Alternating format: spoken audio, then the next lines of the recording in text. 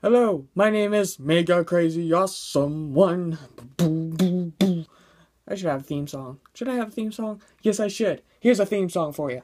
Get ready for normal stuff like stories, challenges, and other stuff. You heard it in the theme song. This is normal stuff. So in normal stuff, I do normal things. Not like my other videos. We're gonna make the best chocolate chip cookie out there. It's gonna be huge. Let's get cooking, cause I really want cookies. So first, you need, of course, a plate to put your cookie on.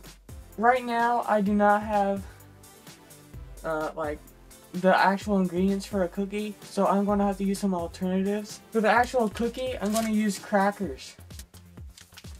I'm going to use some, uh, oatmeal for, like, the topping of the cookie. Mini cookie.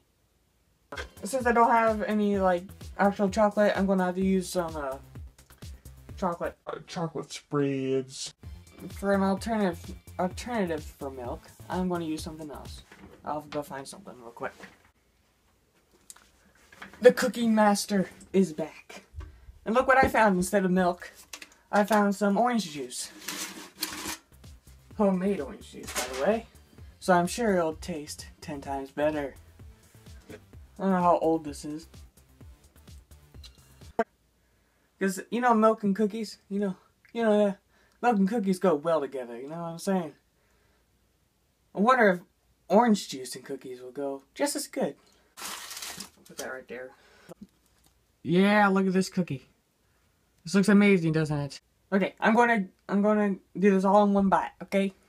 Okay, ready, set, go.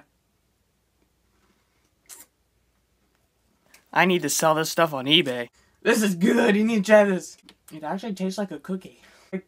The orange juice is super strong. And the chocolate kind of goes in with the oatmeal and kind of. Ugh. At first, it has this like very strong orange juice taste. Now it's mellowing out to like the cracker taste with chocolate. What should I call this? The the orange juice chocolate oatmeal cracker cookie. Ugh. Don't forget your pineapples and stay cool, deal crazy. And coming from me, that means a lot because I'm very picky and I will not eat anything.